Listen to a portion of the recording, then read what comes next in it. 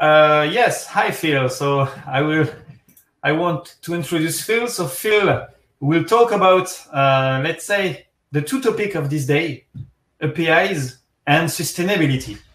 So uh, Phil, if you want to share some slide, you please do that. And Okay, uh, and Nope. enjoy. Hang about. Got to set up some permissions for Chrome. I knew this was going to happen. I love your picture. I saw a picture of a cycle. Oh I yeah, love cycle. absolutely. I usually live on a bike. It's slightly harder to be a homeless bike nomad in lockdown times, but uh, that is usually the approach.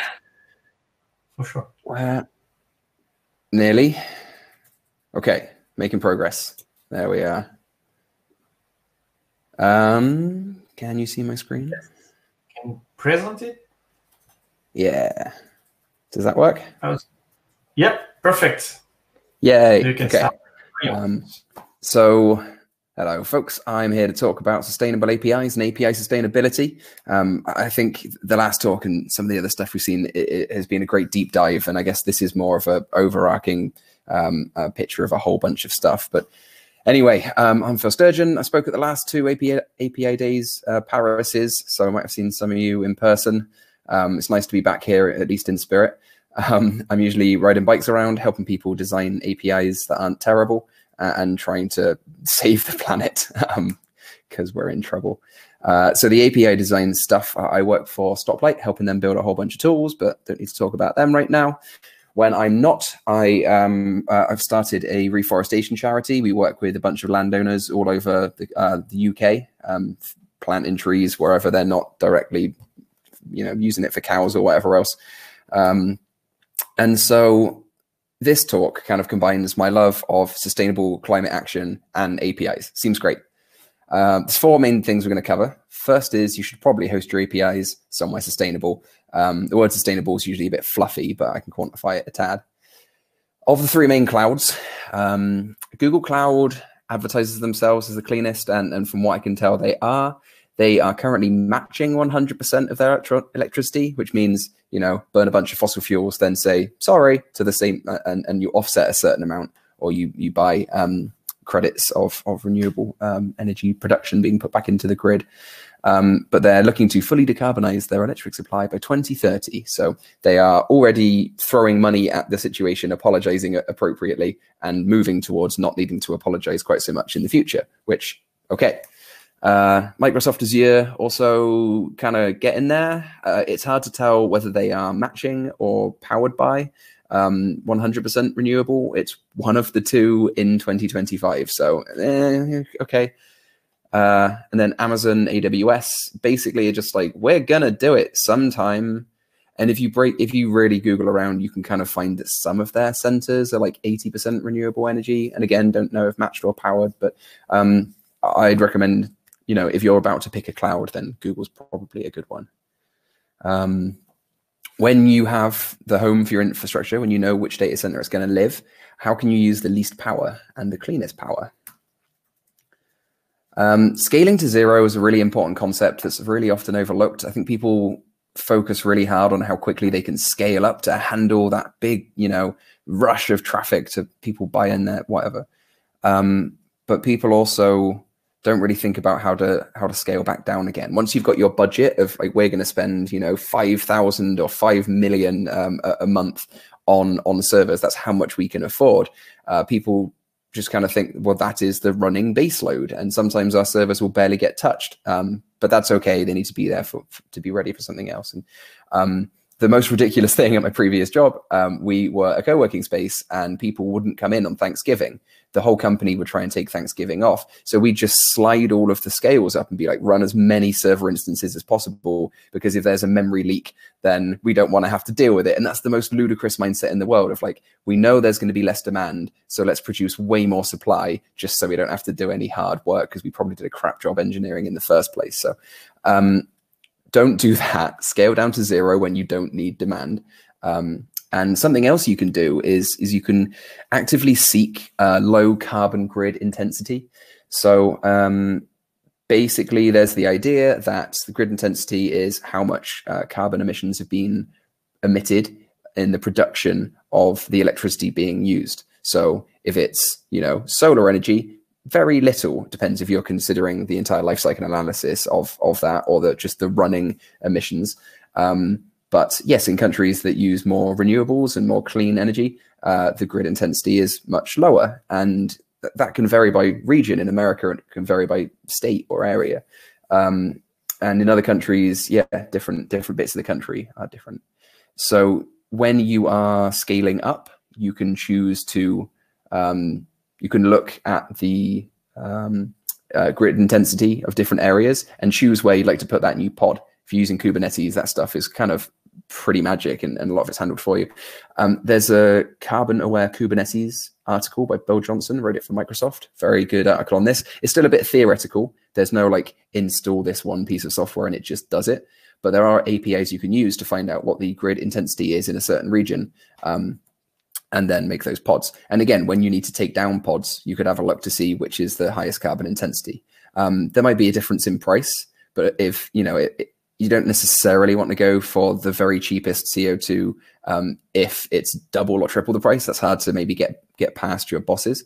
Um, but you know, paying a little bit more to have half the amount seems like a pretty good thing to do. Um, different countries vary wildly in in their electricity mix. Um, so it also depends on the time. So it's not just like, oh, Portugal's good, let's use Portugal, or let's shove everything in Sweden. Like it depends on the the time of day. And so this is often because, like in Portugal, they get some stuff from Spain, um, and and you know that that's not as clean. But um, Estonia is is pretty bad all the time, but gets a lot worse um, at certain times of the day. They're basically bringing in loads of electricity from Russia and then adding coal on top. Um, and uh, Northern Ireland is is pretty much equally bad all the time um, when it comes to fossil fuels. So uh, different different countries, different days, different events can can can change uh, the intensity. So don't just look for the the one place you should always put your servers. Um, next main bit is leverage green APIs. There's a bunch of really smart APIs out there to help with direct climate action and making your infrastructure and your APIs and your ecosystems more efficient. Um, one is Electricity Map. We were just looking at their iPhone app, but they also have an API. And you can um, see a carbon intensity forecast, um, and you can see um, like historical information. This one app does cost a little bit of money, um, but there is WattTime, which also is very similar, costs some money, um, and CO2 signal, which is kind of the free for students supposedly, but I guess anyone could have it for free. Um, and it will tell you how intense things are right now, but it won't help you with the forecast. Um, forecasting is really cool for like working out when you should run your nightly jobs, or maybe don't do them nightly. You know, um, maybe if, if electricity is really green uh, at, at, midday because you have a lot of solar wherever you are, instead of running these jobs at midnight, like people do just by default, you just type zero zero zero zero into cron. Maybe you do them at twelve o'clock uh, when when the electricity is is cleanest. Another API I like a lot is um, is Ecologi. Basically, uh, you can plant trees with a simple post request. I think that's pretty cool. Um, you can make a business account and uh, whenever you post with with your token you just say i want three trees and you can pass them your name. Um, and it will just plant those trees. Uh, they usually go in um, madagascar or uh, i forgot what the other ones are. There's a few planting sites. It used to just be madagascar. They've got a few more. The actual planting is done with eden reforestation projects who are you know time proven fantastic charity for getting this done. Um, and if you don't want to have to do any work whatsoever to to make uh, to make contributions to climate action, Stripe have done a really good job. They researched a whole bunch of different projects they could use um, from direct carbon capture, vacuum it out of the air and shove it in rock, um, and uh, oh, CarbonCure, which are a cement company who will blast CO2 into the the concrete as they're making it, trapping it away forever and making it stronger. Right? They research these really clever companies who are doing really good things, um, and and they just take a little bit, they take one percent of your transaction, and they just pass that off to those companies so they can do useful things with it. So this is using APIs under the hood, but you'd have to do any work really. Um, oh, there you go, CarbonCure, Climeworks, two of two of the good ones. Another really interesting API is air quality. Um, so you could use this um, for all sorts of tools. I mean, if I had a smart home, I'd want to make sure it shut the windows when air quality was getting really bad, right?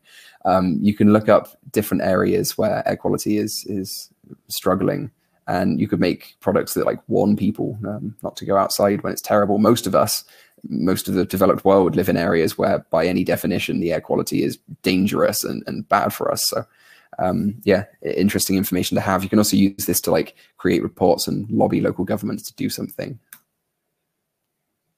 Uh, an interesting one if you're building, um, if you're trying to work out what your carbon footprint might be for your company or personally, um, this is uh, an API from MyClimate. It's got um, carbon emission calculators for uh, cars and flights and cruise ships randomly, and um, and your company too. I think you can pass in a bunch of information like office space and number of employees and all that, and it will it will tell you what your number is. Um, and if you don't want a DIY approach, this API-based carbon calculator from um, from Bloom, same people that make electricity map, is really good. Um, it looks you can connect up Outlook uh, and your Uber uh, API and TripIt and Trainline and Wizz and a bunch of these other things, a bunch of like flying and smart car driving things. If you have people driving around, um, you, you, can hook all of this up and it will tell you overall uh, where your company's emissions are coming from. So it might not get as fine grained as some of the stuff we're looking at in the last talk of like, you know, this server is specifically doing this and, and you'd have to do that work yourself. But um, for the kind of general uh, general case, if you just want to hook up some APIs and get some information on where all your CO2 is coming from, then that is pretty cool. The last bit, and probably the more I don't know, tricky bit is that we can also design APIs, our APIs, to be more sustainable. We can we can build them in a more clever way. Um, basically, right now, the internet is about 3.7% of global greenhouse emissions by various sources, uh, and it's only set to double by 2025. So uh, that's roughly the same amount as flying. It's twice as much as the world's sewage handling. it's it's a really astonishing number. Um, going, you know, uh, need to fix it. Luckily, interestingly, the internet is um, 20% of traffic goes through Akamai, and you may have seen this number a whole bunch of times. I'm sure it's been brought up here at this conference several times.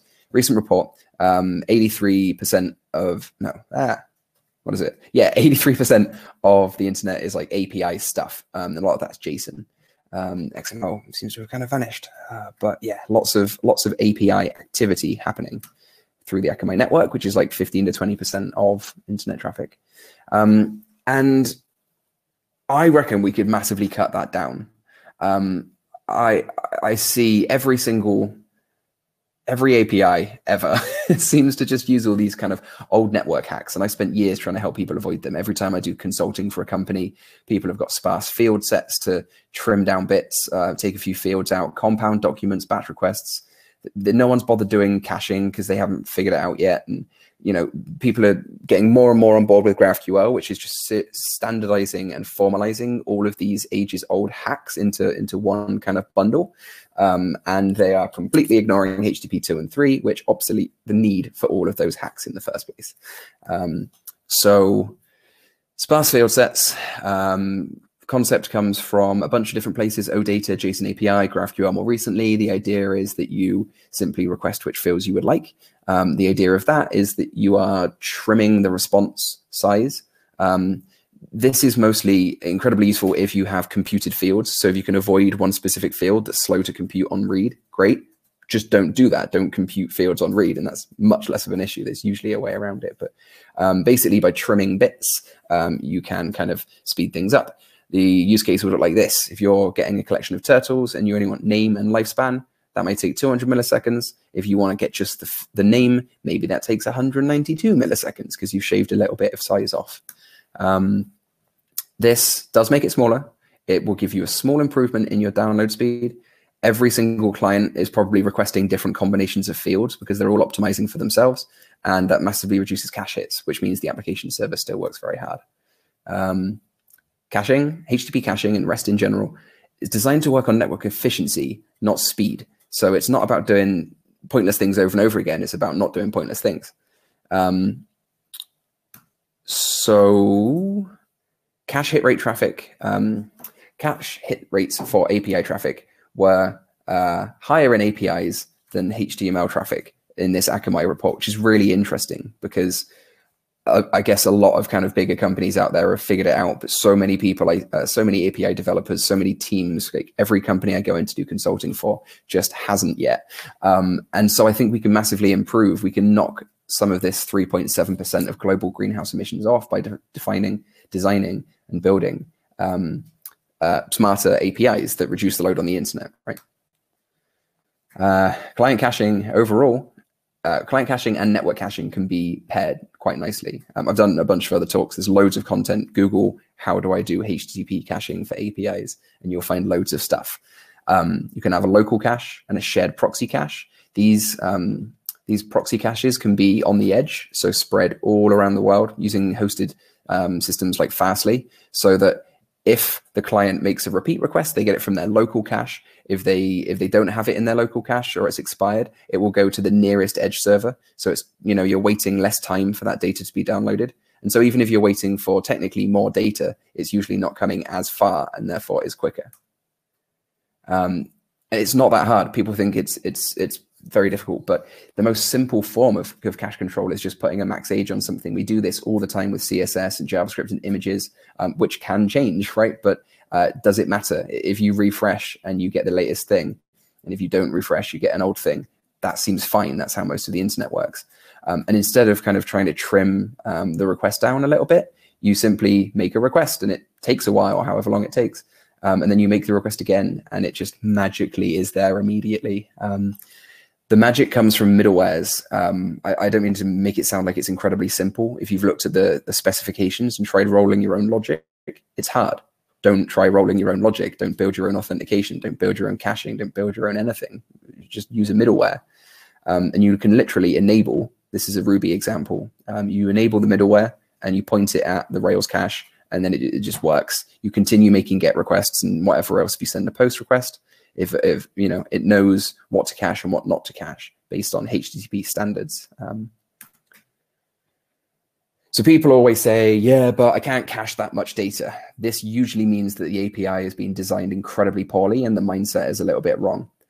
Um, data is always stale. The second it hits the wire, like as soon as you finished making your request to the database, that could have changed. It could have changed before you turned it into JSON, before you put it over the wire, before the client got it. Um, so it, it's not about whether data is up to date uh, or stale. It's how stale can it be before it's a problem. And, and people always seem to think like, no, it, it, it needs to be, it needs to be completely up to date. But even like stock trading platforms um, will have those prices be be limited, right? If you use Robinhood, it's like 15 minute old um, uh, numbers. So you don't even like stock systems don't need real time information. And, and most of us don't either. Um, we also can design our endpoints to be more cacheable in a bunch of ways. Uh, don't batch your calls because that means that if a few of them are cacheable, but one of them isn't, well, you just can't cache anything. Um, don't use post or like put to get important information because that makes it hard to cache. Um, don't include requester specific information in the response body if you don't need to, because um, you're tainting a potentially cacheable response.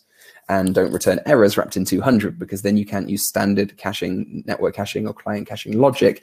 Um, you are kind of forcing everyone to figure out like, oh, success, false, but 200. You know, it just gets really weird. All of this advice is on a Fastly article, uh, which is fantastic basically don't make giant payloads with all sorts of mixed data. If A and B are cacheable, but they embed a C, then guess what? A and B aren't cacheable anymore.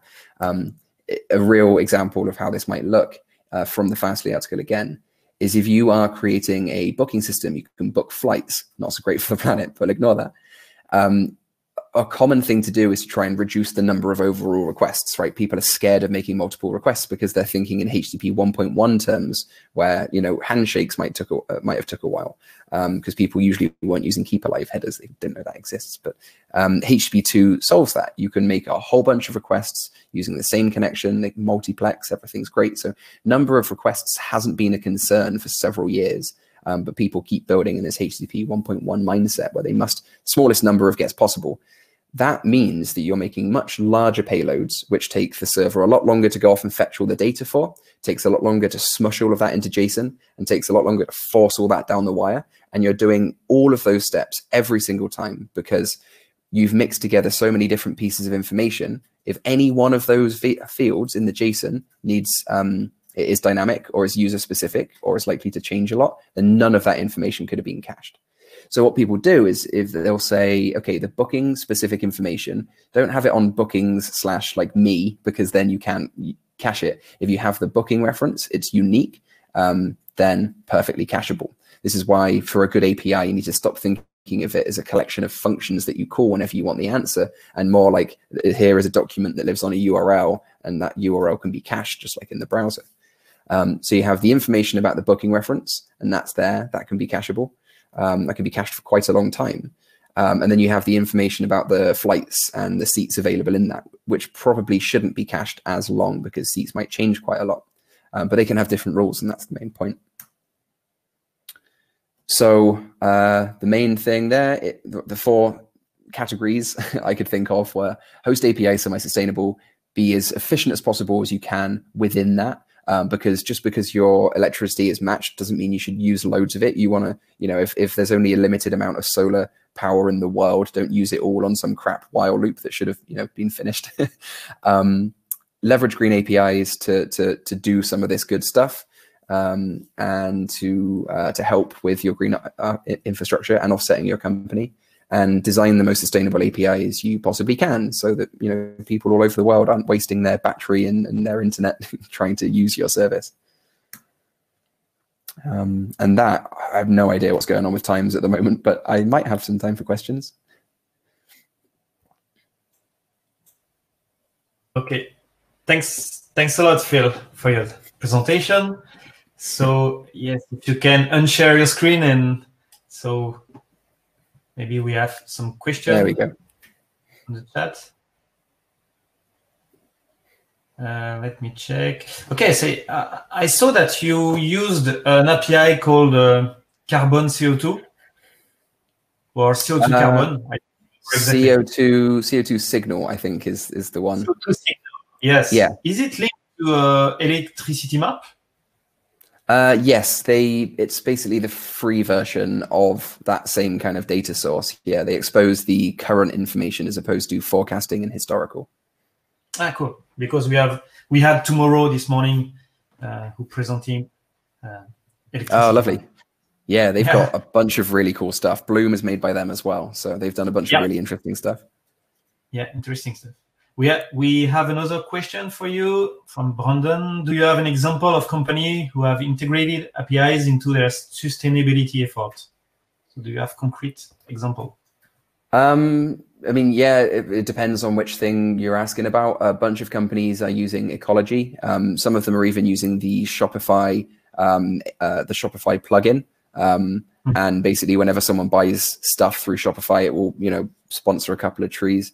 Um, yeah, off the top of my head, I couldn't tell you who's doing what, but stripe.com slash climate, then uh, Substack and a bunch of other companies are using the 1% of your payment will go through that. So there's lots of those companies doing those sorts of things. And like I said, Microsoft are currently doing the research on on trying to have carbon aware Kubernetes. Um, so yeah, most companies are doing some of this, whether they're specifically using those APIs or not, is hard to tell. Oh, uh, one good one I was thinking of. Um, uh, electricity map. Google use that. Um, so they have very long running, expensive processes that take a bunch of electricity, um, whether it's kind of doing a bunch of AI modeling or, or whatever it is. Um, Google will use electricity map to figure out when they should run those um, so that they're not doing it entirely on coal, but they're doing it on whatever hydro instead. So it could be four o'clock in the morning in one area and, you know, three in the afternoon, afternoon in another. Okay. Thank you. So thank you for your time, uh, Phil, and for your presentation. Again, it was perfect. Thank you. Great. Thanks a lot. Thank you. Bye.